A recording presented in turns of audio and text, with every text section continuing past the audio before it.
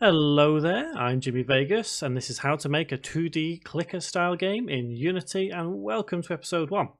So, this series will help you build a clicker style game. So, if you've ever played anything like Cookie Clicker or Clicking Bad or anything similar to that sort of game, this entire series will help you build one from start to finish, even if you are an absolute beginner. So, if there's anything you want to see extra in this, just you know, feel free to leave a comment below. So, as I said, this is aimed at absolute beginners. So up until this point, um, you've got this open. If you haven't even got to this point, you may have got to this point where we have the Unity Download Assistant. You just have to make sure when you're installing it that you have the Unity engine ticked. Uh, not too bothered about documentation, but standard assets should be ticked. If you want to use Visual Studio for programming, have it ticked. If you untick it, you use MonoDevelop. I'll be using MonoDevelop in this series, but if you're going to use Visual Studio, it's all the same. The scripting is going to be the exact same. And then down here, you've got the devices you want to install for. So if you want to aim for a mobile device, Android, iOS, make sure you have these ticked. Same with Mac and Linux. By default, you should have Windows um, built in anyway, so you don't need to worry about that. So once you've got Unity up and running, you should have something looks like this. So you would type in your project name, so 2D clicker, find your location, and it doesn't really matter too much at this point whether we use 3D or 2D.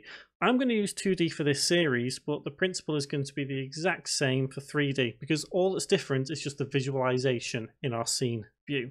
So once we've done that, we don't need to worry about any asset packages.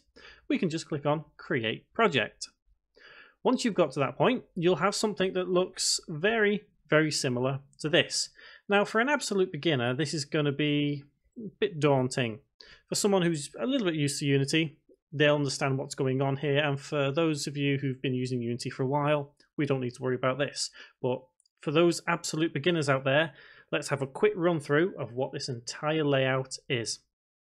Over here, we have something called the hierarchy.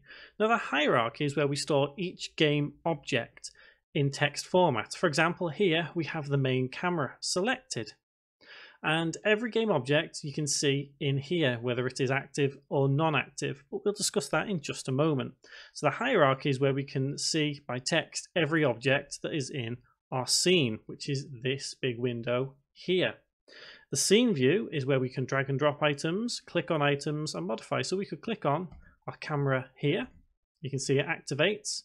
And one thing to note is we can't see something specifically that we see in game development engines, and that's an X, Y, and Z coordination. Over here at the very top, above the hierarchy, we have a couple of little tools that we can use. If we click on this cross one here, we'll be able to see we have the X coordinate, the Y, and the Z, but we won't really be using the Z too much because we're doing all this in the second dimension. So you can move these things across and along, up and down. And to undo anything, it's the usual in Windows, hold Control, press Z, and it will put it back to where it originally started. So, next to here we have the game view. At the moment, it's just blue by default. The game view is where we can actually play along with anything we've built in our scene view. So once we've got some elements in there, we've got some coding in there, this is where we could play along just to test out everything is working just fine. So we can switch back to scene view by clicking this tab up here. So a couple little things to add into the scene view. We can scroll by using the middle mouse wheel in and out. We can also use the arrow keys to move up, down and all around. And if we press F, we can focus and set everything nicely. That's also the same if we zoom in, hold down the middle mouse wheel and move over here. If we double click on something in the hierarchy, we can focus it so over here we have something called the inspector panel. Now the inspector panel is where we can see all components and elements of specific game objects. In this case, with the main camera, we have the transform component and the camera component, as well as a couple of others. So this is where we can modify and change various things within Unity. So if we want to change the rotation on the camera, if we want to change the position, or the scale. Scale doesn't really matter too much with camera, but let's change the position on the X. Now we can either type in a number Let's put 10. Or we could actually hover our mouse over the X, hold down the left mouse button and move it around like so. So let's set that back to zero. But that also applies to every single aspect of the transform component. The camera has a couple of things that we can change, but we won't change them right now. It's just worth noting that any um, aspect of changing an object can be done in the inspector panel. So down at the bottom here, we have the asset window. This is where we store all our scripts, all our textures, materials, objects, pretty much anything we import into the game engine. It's all stored down here, and then we can keep it neat and tidy in the asset folders. Next to it, we have the console. So the console is mainly used for if we have any problems during writing scripts. We've written a script, it's got an error in it, we're not quite sure what's going on. It'll display a little bit of help in here, and you can always double click on that error, and it will take you to where it thinks the error uh, lies within your script. There's also various other uses for it. For example, um, your text for debug. If uh, you've written something in a script you want to see, you've clicked a button and it displays down here. But we'll get to that later on. And finally, we have animation. We probably won't be using animation too much in this series, but it's always wise to have it there. If you don't have that animation tab, this is where you can start customizing your Unity layout. So over here, you have a little option button. If we click it, you can add tab and you can add in the animation component. On the flip side to that, you can also move tabs around. So if you want to take a tab, let's say animation, and move it here, you can always hold your left uh, mouse button down and drag and place it up here. So that's how you can customize your layout. And that's the same with pretty much anything within Unity. You could drag your game tab down here and have your game down here. So I'm going to move everything back to how it is by default. There we go. So we can just move everything around nice and quickly using that way. You could also move your hierarchy over here, move your inspector panel over here.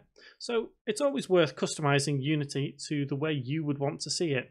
So if you think that the uh, default layout isn't quite to your style, feel free to change it around and get it to how you want it because at the end of the day it's you that's developing so next thing we'll look at is the build settings and what platform we want to develop for so if we go to file and build settings here we can change whatever platform we want to build for as long as we have the module installed so if we have PC Mac Linux by default, you can see it's indicated by this little Unity logo here.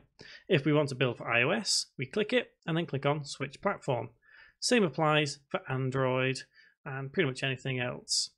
Uh, for Xbox One, you would probably need to open the download page to install the module. Uh, for things like Vita, you will need a license, but so that's not exactly free. But this whole series is going to be able to show you how to build it all for free. So that's maybe something to look into later on. So anything you build in Unity can be built and ported to any supported platform, anything at all. So if you've originally built it for PC, Mac, Linux, you can easily take it to Android with a click of a button. So click there and click on Switch Platform. So let's close that down. And Unity is very object oriented, but that's not to say there isn't just as much coding. All coding we do in this series will be done in C Sharp. There will be no Java programming in this at all. It's all going to be C Sharp. But we'll start with the early stuff and don't worry if it, you find it too difficult because we'll explain things as we go along. And there's always the ability to download any scripts that we write on the website. So what we'll do is we will explore a couple of objects. So I'm going to zoom in a touch here onto the scene. And if we go to game object, and go to UI and let's start with text, you'll see a canvas appears and an event system. Now, the event system you don't really need to worry about too much. You can more than likely leave that alone for the entirety of development. The canvas itself is what represents the screen. So if we double click on the canvas, we can see it's represented by a white box. And if we double click on the text, you'll see it's put the text here. So everything we do here is going to be all in 2D. We don't really need to worry about any 3D elements, at least not in early stages of development. So we can move this by using the X, or if you want to, you can select this fifth option here, and it will select the area around it, leaving blue dots on the outside. Means you can hold the left mouse button and move it around like so. You'll notice at this point the position on the X and Y is changing in the inspector panel over here. So we could manually change this. So let's give it a go.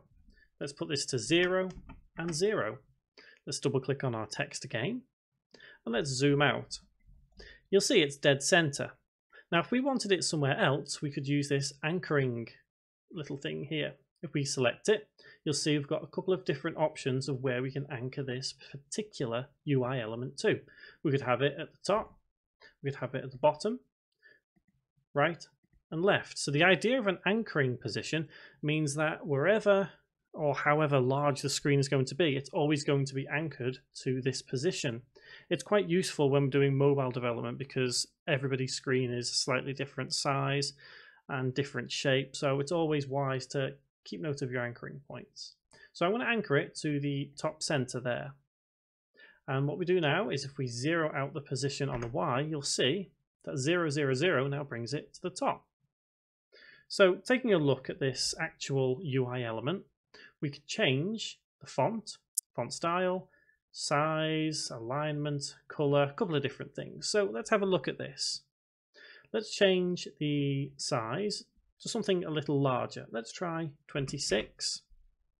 And let's just have the text as Jimmy's 2D clicker.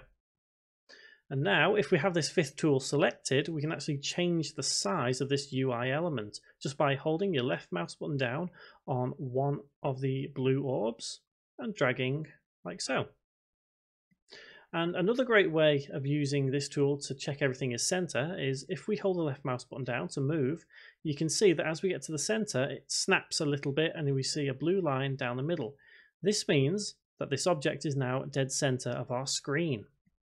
So let's change the size. Uh, in fact, the alignment, I mean.